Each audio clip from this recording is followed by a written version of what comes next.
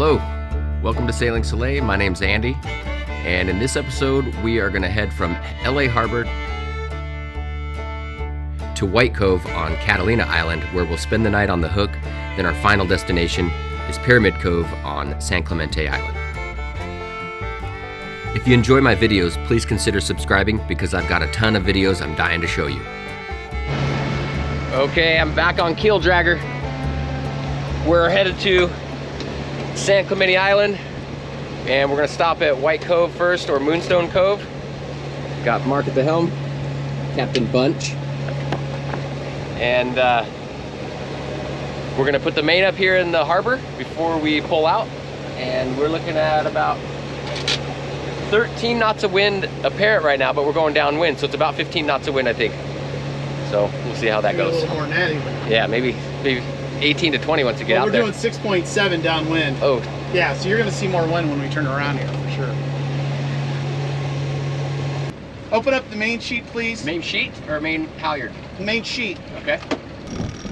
Keel Dragger has one of those super fancy electric winches. Okay, Elena, that's fine. It's awesome. It way you want. You're still clear.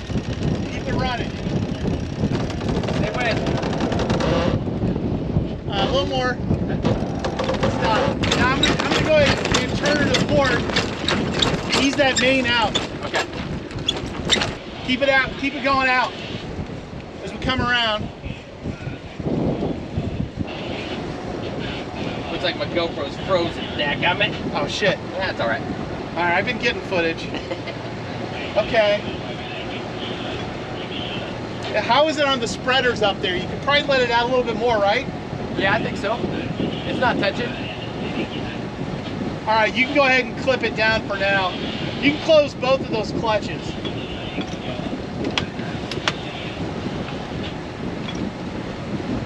Nice work, dude. See how easy that is when you don't have the fucking thing wrapped around those stupid mast stubs?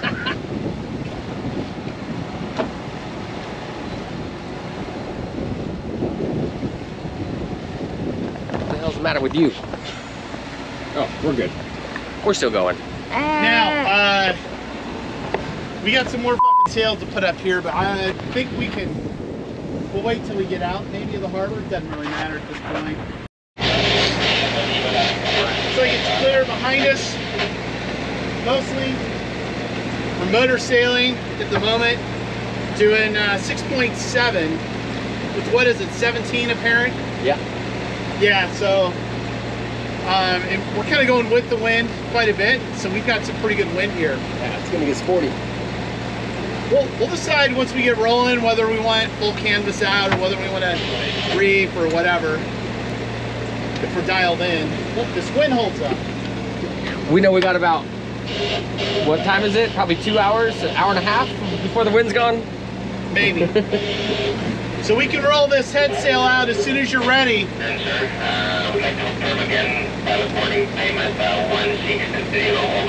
I lost my crew.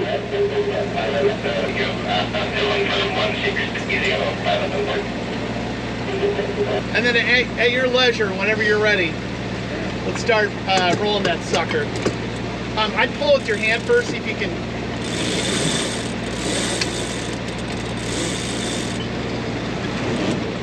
Right, keep it coming.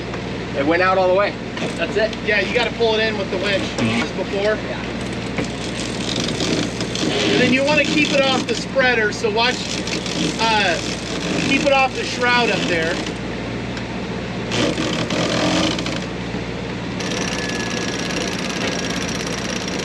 Okay, hold it there for now.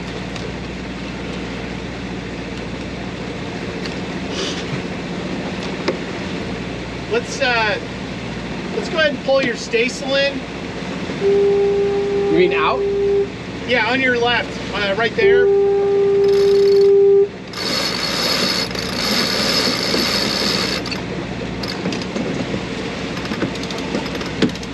Keep her coming.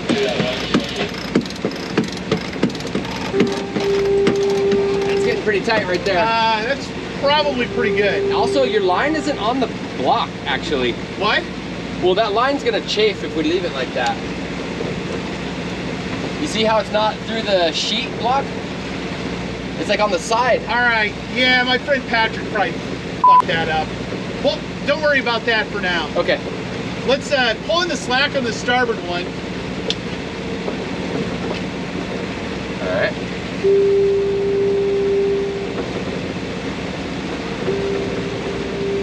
So I want to depower this a little bit. Yeah. He's got these fucking things powered way the fuck up.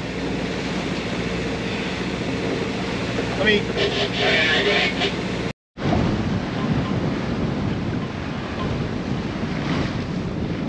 Sorry. Hey, You're good. What's that?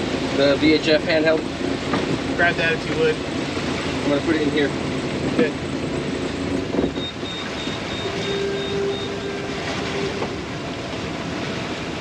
Yeah, boy. Okay, so This motherfucker's sailing right now.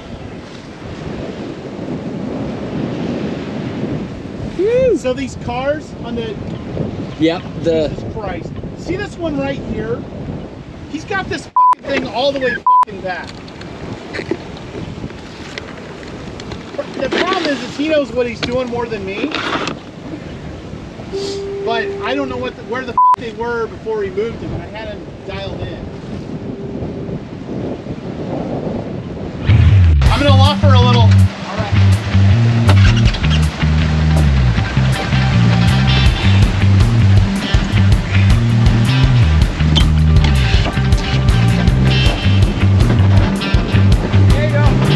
that looks pretty far back? Is that where the other one is? Okay. All right, well, let's try this.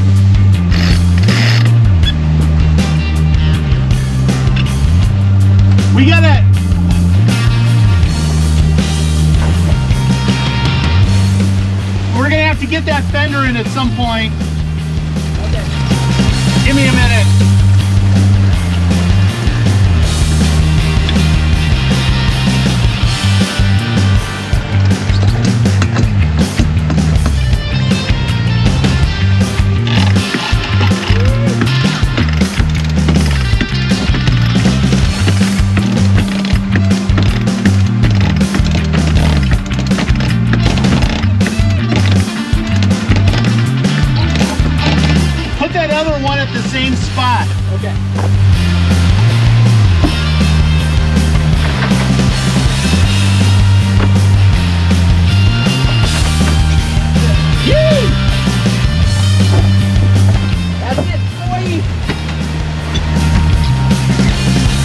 Straddle this. So, ah. how's it looking up there? Main looks good. You'd have to tell me on your Staysail and pencil. That fucking Yankee's still powered up too much. So what I want to do is I want to flatten it out, which means the car's got to come back a little, and then and then we'll tighten it up, and that'll that'll take a little power out of it. Yeah, you need the fucking handle. You're not I gonna, know, I know. You're not gonna muscle it. Well, your shit is like you got all this power shit, and I'm like not used to it. Do you have self-tailing? I do. I know how these work. Yeah. All right. Well, then I'll quit fucking micromanaging you. I guess I'll just shut the fuck up. guy's towing, I think.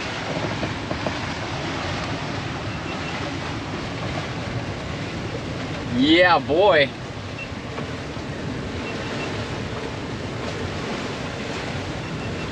So this is the scene at quarter till four. Angels Gate behind us. There's uh looks like a tug. They're towing that barge or whatever. And we're we're about uh, right on the ley line right now for White Cove. So this is perfect. We're getting uh, 20 knots here, and we're on. we- We've got full canvas. We can actually probably flatten things out and do a hair better actually if we if we uh, reduce canvas a bit. But I don't care. Uh, I, I think the wind's going to die down a little bit. I do so I don't think it's worth reefing. But what are we seeing? I mean, you know, we're seeing high sixes, sevens.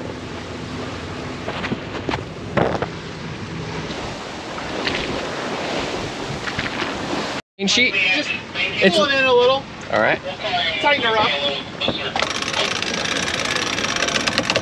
That's good.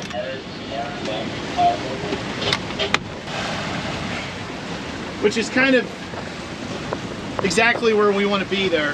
That's one thing I don't know much about is sail shape and Yeah. how to how to manage that. And honestly, the the way that you learn that shit, um, Racing. is racing.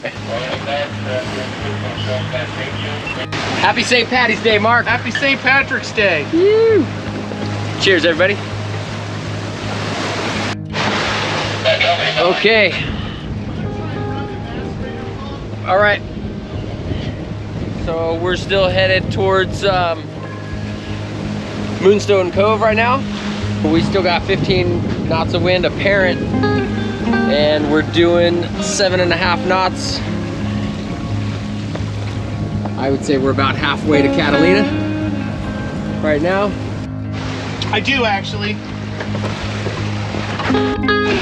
Man, look at how nice this is. This is great. Try to block the wind if I can. The island in the background right there. We still got plenty of light, so I'm pretty sure we'll get in before dark. And it's gonna be great. And then I heard that the island's really green, so I'm looking forward to seeing that because of all the rain we've had. But uh, check out the boat.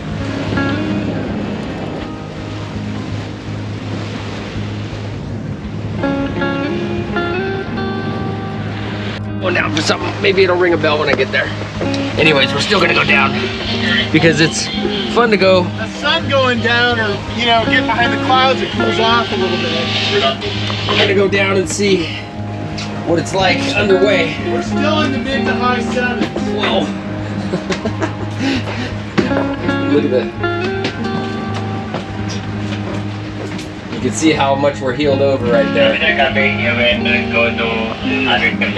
Uh, this boat is going so fast.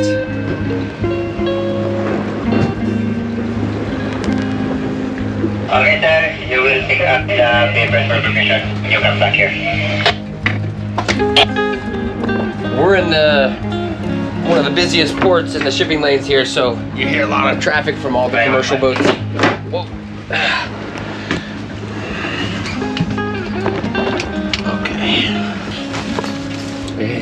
There it is.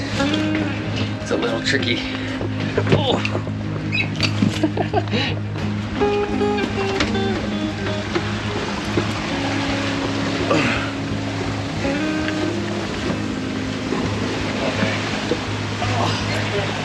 This was it.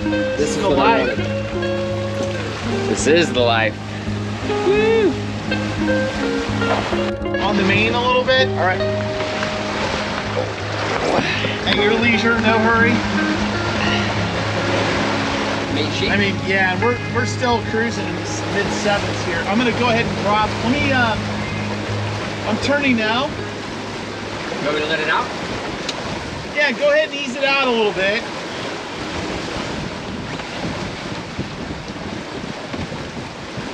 Yeah, a little bit more. A little bit more. I pull it in a little bit. A little bit more. One more. Okay, locking. you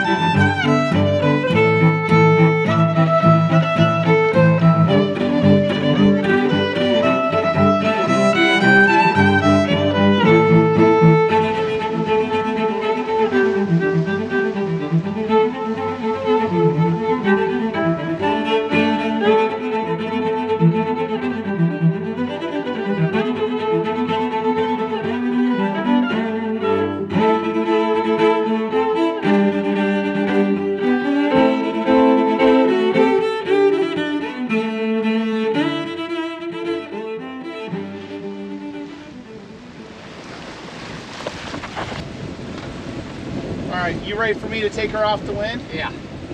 Okay. Heading up. Hang on. Get ready. Yes, sir. Stay out, stay wind.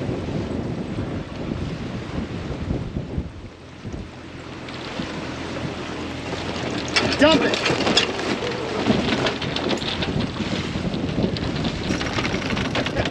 Whatever the slowest way is possible to do that. Hey, that that winch is the fastest. So what we'll do is we'll loosen it up. We'll do the topping lift or we'll put the boom crutch, but you can just you can just kind of wrap that around it any which way up. Oh, you don't want to pull it? No, I don't. Okay. I want to leave that slack. I gotcha. This, um, you want to let it. And I'm just drifting, by the way. I'm in neutral. Okay. I'm just I'm out of gear.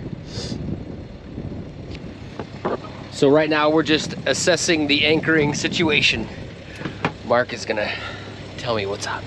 Yeah, we're in 95 feet almost right here. So uh, we want to get a little bit closer. That's Hen Rock right there. So see that? See that darker rock there? Kind of by itself. It's right there if you can't Yeah. see it. I think that's Hen Rock. At least that's what I've been calling it. Where's our depth? So we got depth there on the left. We're at 96.3 feet.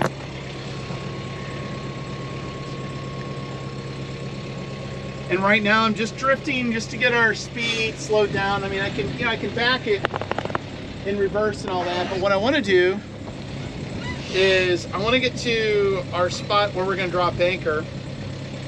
And then, uh, and then we'll kind of let the wind drift us back a little bit. Okay. This is like if you had a rangefinder where I would be looking at like the rocks and what's the range to the, you know, to the rocks and stuff like that. We're trying to use my rangefinder for the first time to see how far away we are from these rocks. Looks like it's on, but I don't, I don't know. Uh, a that's fun at little test. 224.5 yards. That's not a thousand feet, is it? Might be further than you think. No, that can't be right. That can't be. 650 feet. Yeah. I could see that being 200 yards. 200 and. Okay, Yeah. right on. Okay, I've got this rangefinder from Amazon. I've never used it before, but I'm reading we are 200 yards from that white rock and 226 yards from the one to its left. So that's pretty cool to be able to check your distance from shore. And let's see how close to shore we are. Actual shore, because the boats are over there. It says 445 yards. We're gonna drift back pretty far when, once we drop the hook.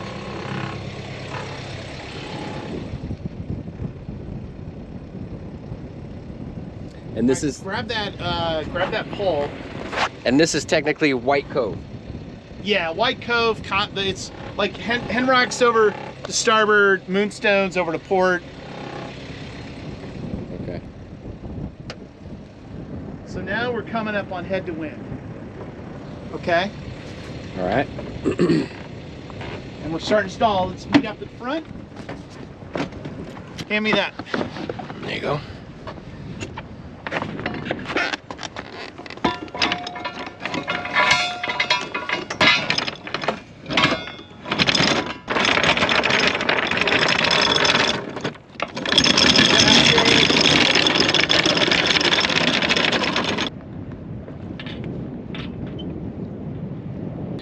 Since we've dropped it, our our stern has kind of whipped around al- almost to the direction.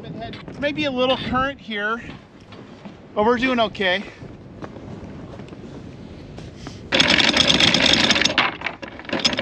Okay, there's another 25. Okay, that's that's it. Now let's pull in. Gonna wrap around the Show us your outside. show us your snubber here. Let me see what you got. Yeah, so it's oh shit. Uh oh. to show you what not to do. I'll put the lid on that for now. Yeah, it's just a it's a Mantus. Uh, this is a 3 8 inch snubber shackle or whatever. And there's, there's just two lines, nylon triple braid. Uh, what is this? Half inch, 3 8 Half inch. half inch. Um, just absorbs the shock load so that the the winch and the you know doesn't have to absorb that. We're starting to get some load on the chain now, so it's good to do this now. So oh. we'll What's this guy called? see the hawser. Yeah, keep a little tension on it because I'm a little little bit more chain out. Just because this rope likes to slip on that big cleat. Okay, and that's good. Cleat that off. So now I'm gonna idle reverse. Give it some juice. Time for a brewski and anchor watch. Doesn't look like we're moving to me. All right, we're not. We're good. Okay, so this is technically my first time anchoring on Catalina Island and will be my first night sleeping on the hook. So that's kind of a cool experience.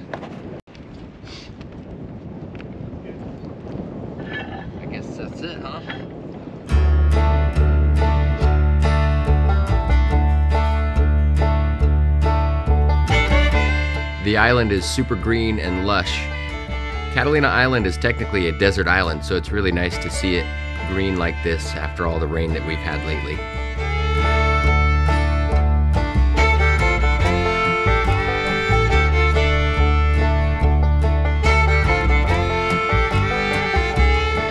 All right, we are anchored here at White Cove on Catalina Island.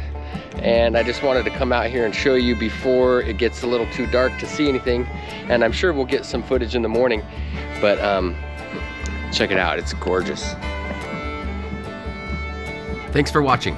In the next episode, we haul up anchor and head to one of the most remote anchorages in California, Pyramid Cove on San Clemente Island. See you then.